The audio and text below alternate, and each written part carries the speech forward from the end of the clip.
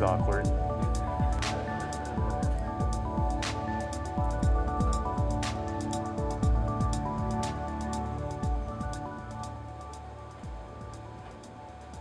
Hello. How are you doing? Today, I'd like to share with you a few observations that I've had uh, in the past few years living, breathing, and working in digital. And I'd like to start us off with a, a simple question. How many of you have heard the phrase, knowledge is power? Everybody, right? Yeah, good show of hands. Thanks for participating. And uh, so, what you might not know is that this phrase was coined by somebody. It was coined by Francis Bacon. There's, there's a slide that's supposed to come up. Uh, the, the phrase knowledge is power was coined by Francis Bacon. So Francis Bacon uh, is, a, is a scholar, a 16th century English scholar who was a philosopher, he was a scientist, and he was also a writer. And so he came up with the phrase uh, knowledge is power in a book that he published in 1597. So uh, back in 1597 and during Francis Bacon's lifetime, uh, the, the amount of documented knowledge that was available uh, was relatively scarce. I mean, the printing press, here we go, the printing press had been published, uh, had been invented maybe uh, a century beforehand, but a fair amount of the books that were available were still handwritten manuscripts. So the first question was easy. The second question that's a little harder is how many books do you think were published in 1597? Best guess. So if you're like me, you're probably wishing you had Wikipedia up on your phone right now. And that's exactly what I did when I started thinking about this was I just took a cruise on the web, and the best estimate that I could find was about 10 million. 10 million books published annually uh, throughout the 16th century. Now that might seem like a lot, uh, but then when you compare it to how far we've progressed since, uh, this, this is what the chart looks like. You see a nice exponential growth curve that reminds you of Al Gore and The Inconvenient Truth. Like, look how far we've gone. Um, so according to the best estimates that I can make uh, based on Globe and Mail, uh, I'm guessing that in 2010 there was the equivalent of maybe 125 billion books uh, that, were, that were created and documented uh, in 2010. I mean, that is just a staggering, staggering amount of knowledge that we're creating. And it's not just because we know a lot more than we did back in the 16th century. Uh, it's because it's being documented much more widely, it's being documented much more quickly, and there's far more efficient tools at, at spreading this knowledge and, and discovering this knowledge. Now, I, I think the notion of uh, the free flow of information is not a new one, right? I mean, the, the term information superhighway has already been mentioned earlier today, and, and it, uh, it was coined back in the 90s, so there's nothing new about that.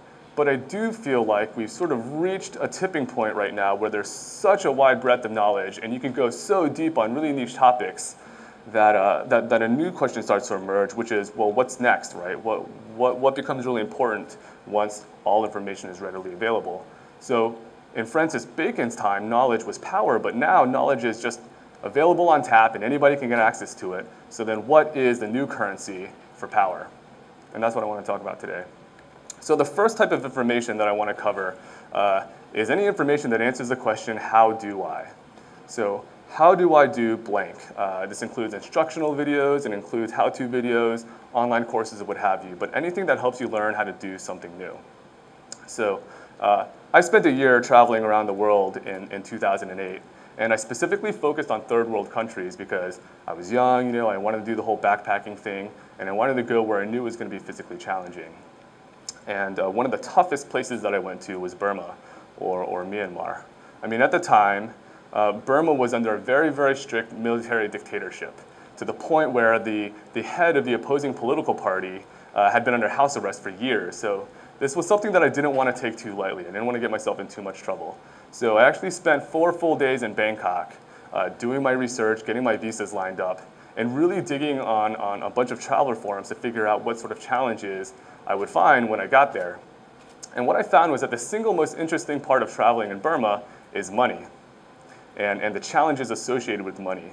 So because uh, Burma has been under so many economic sanctions for so long, you actually can't find a lot of form of payment that work there. So credit cards aren't accepted there. Uh, ATM cards, there aren't any ATMs that you can find uh, that can access the global network. Traveler's checks aren't accepted there. They only take cash. But the problem is, you can't even take any sort of cash. They only take US currency. So this is interesting. So I start digging deeper into it, and I find that there's actually been some rampant counterfeit schemes that have been run in the country. So people are really, really paranoid about the types of bills that you bring into the country. So you've got your US dollars. If they're any higher than a $20 denomination, people won't take it. If there's any wrinkles or folds in the bills, it won't be accepted. If there's any pen marks or even pencil marks on it, uh, it'll get turned down. And then I start really digging into the web and I find that there's actually a couple of serial numbers that are raised alarm bells. So if the serial number on your bill starts with the letter CB, uh, people aren't going to take it. Some people might, but most will assume that it's counterfeit. So after reading this, I spent an afternoon at a bank in Bangkok, and I literally had a huge stack of 20s here. And everybody in the bank was looking at me funny, but I was meticulously going through and inspecting them and like erasing any pencil marks that I found and making sure they were perfectly flat. Um, and I probably only used one bill out of every 40 that I went through. But I'm really glad I did that upfront work because it would have been pretty painful to be stuck in Burma, uh, having no currency that anybody would accept and no way of getting more money. So this is one example of some really, really niche information that's just like freely available out there.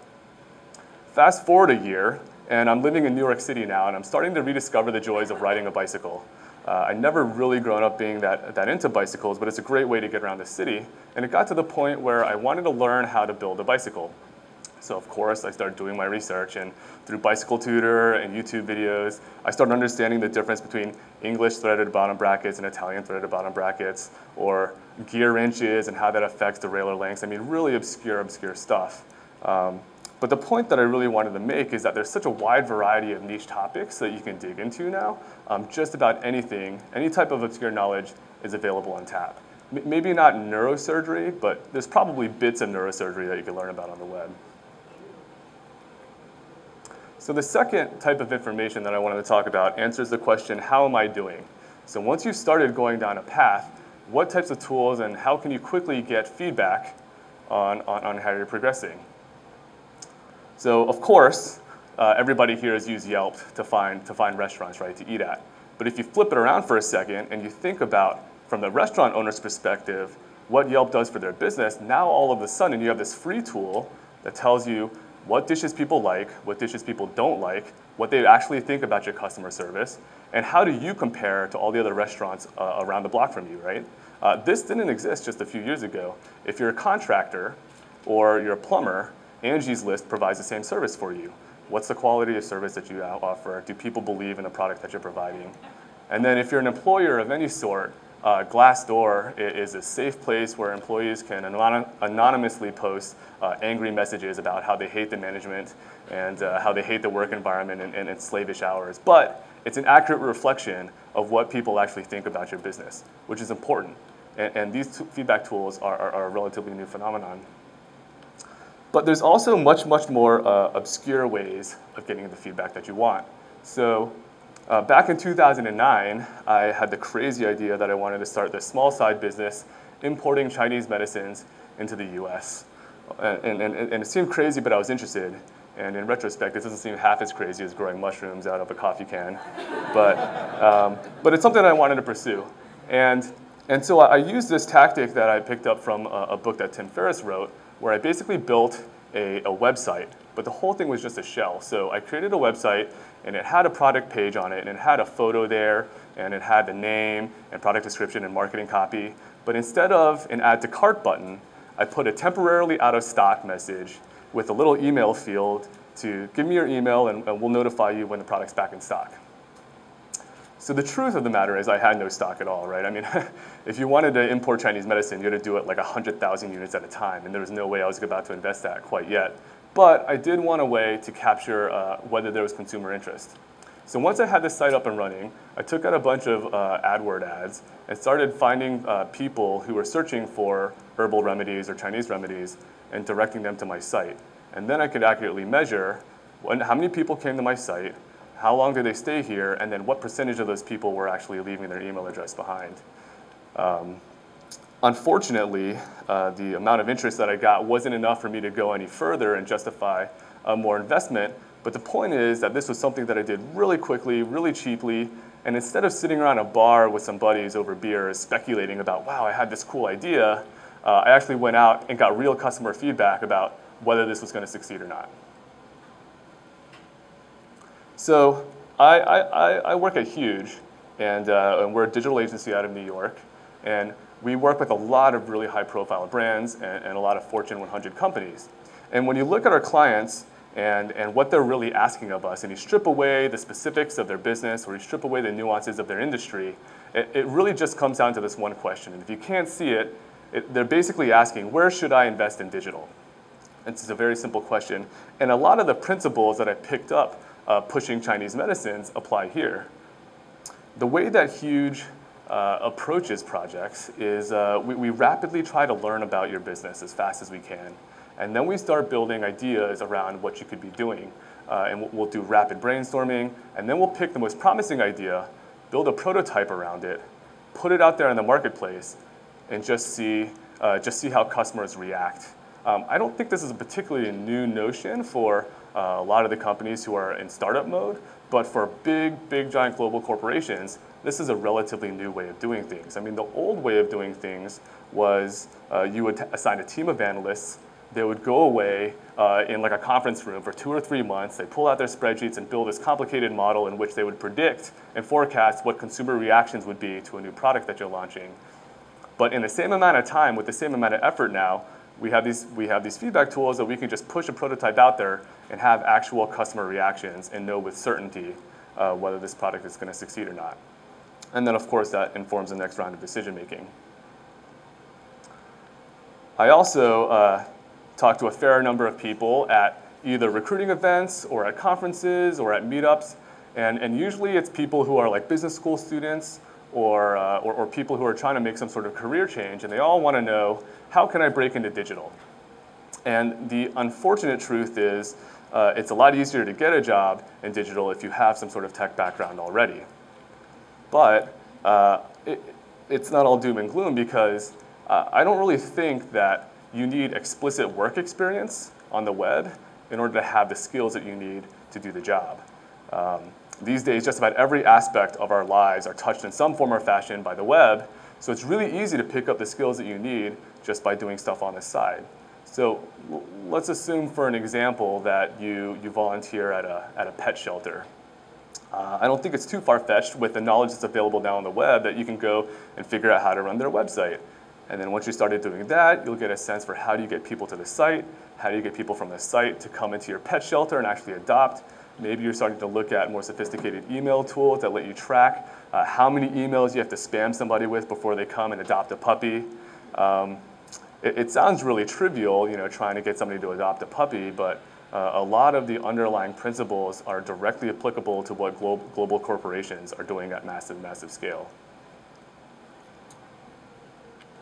So I think uh, we're actually at a point now where we're well past uh, the era of the information superhighway. I mean, anything that you want to learn about, you can go out and find. If you need feedback about how you're doing, you can go out and get that as well.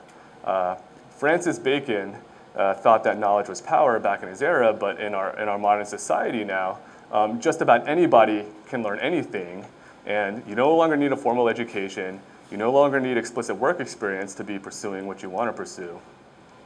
Uh, so, so in this kind of environment, I really do think that then uh, the new determinant of success and what will separate people who succeed or not are the people who are going to take action and are willing to act on the knowledge that's just out there. There's some people who see it and don't act, and there's some people who see it and do act, and that's really what's going to kind of shape uh, the next generation. So uh, whether you're an executive who's trying to figure out how you want to invest in digital, or whether uh, you're somebody who's looking to make a career change, I think the moral of the story is the same, is that the knowledge is out there, the tools are out there, uh, you just need to make sure you don't look for too long before you go ahead and take the leap. So I, uh, I already talked about how I built up a bike. That was my first bike, and I'm actually in the process of building up a second bike now that's going to be much more like a city bike. Uh, you know, it's going to hold luggage. It's got a nice basket. I, I told my wife that I was building up the second bike for her, um, but the dirtiest truth is it's, it's actually just a second bike for me. Um, but I'm really excited about it because the first bike that I built uh, came with pre-built wheels because wheels are really hard to do. But then I came across this great uh, little guide on, on the art of wheel building. So for the second city bike that I'm building for my wife, um, it, it, I'm going to be building it up from scratch with the hubs and the spokes and the wheels, and I'm super excited about it. And I don't know what sort of personal projects or personal goals you have for yourselves. You know, maybe there's some hobbies you want to pursue. Maybe there's a business venture that you've been contemplating. Maybe you're looking for a career change. Um, but I think the message is pretty clear that there's really nothing that's holding you back anymore. Certainly not compared to, say, the 16th century. Um, there's no longer the lack of knowledge uh, that you can go to as an excuse. So if, if you've been considering uh, doing something, regardless of what you might be considering, um, I hope you'll stop considering and just go out and do it. Thanks a lot.